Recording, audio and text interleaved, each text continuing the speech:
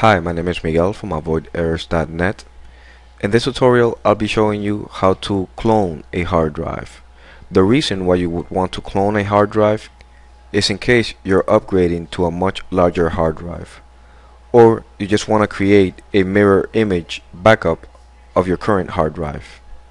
Now that the hard drive is plugged in, I'm going to go ahead and clone this 74 gigs to this one that is 500 gigs.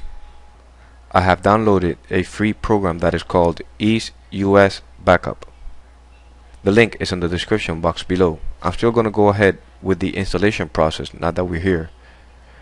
When you download it, I downloaded mine to the desktop. Just double click to run. Click yes to the warning.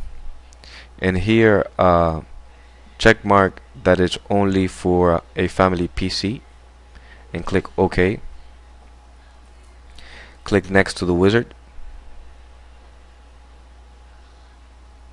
next again. Here I'm just gonna click on next default installation location. Same here next. And if you want to create a different location for your backups you can. Just click on browse but I'm gonna leave it default and click on next.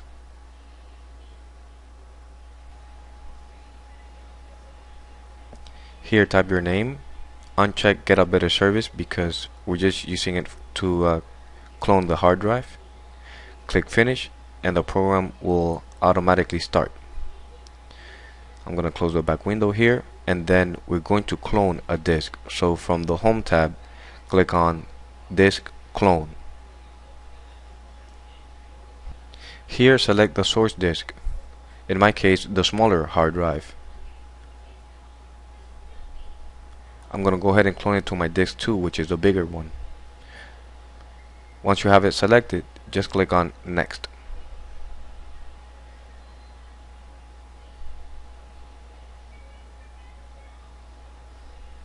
Now the destination would be my uh, 500 gigs, which is this 2 in this case.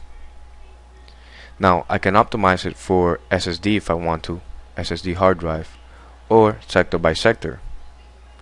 I'm not going to do any of that, I'm just going to click on Next. If you notice here, my source disk and my layout after the clone is exactly the same size.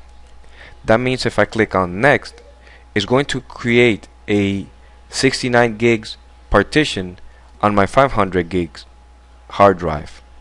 Now if I want my partition to be bigger, I just need to drag it and now it creates a 42 gig part a 142 gigs partition. If I want to use my full hard drive, the 500 gigs, I just need to drag it all the way to the end.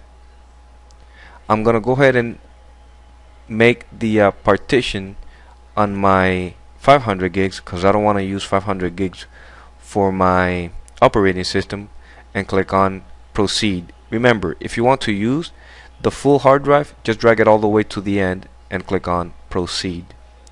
This will take about 20 to 30 minutes. I'm gonna fast forward this.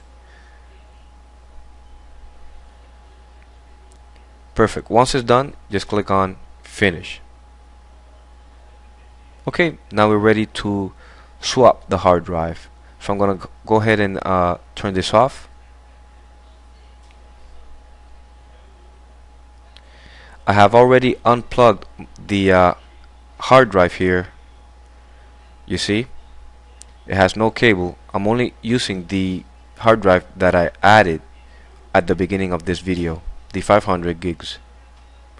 I'm gonna go ahead and turn it on and see if it works or not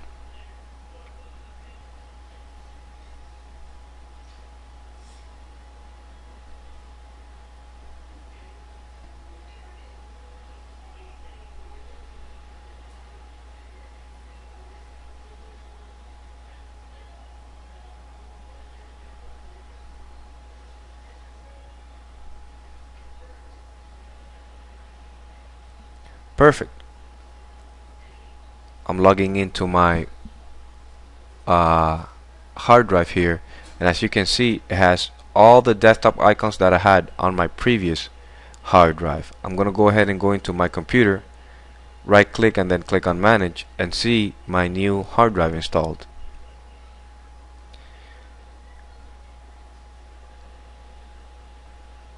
Here it is. I have created the uh, 70 gigs. I have 395 gigs uh, unallocated which I can use. And uh, thank you for watching this video. My name is Miguel. If you have any questions please feel free to post them in the comment section below. Thank you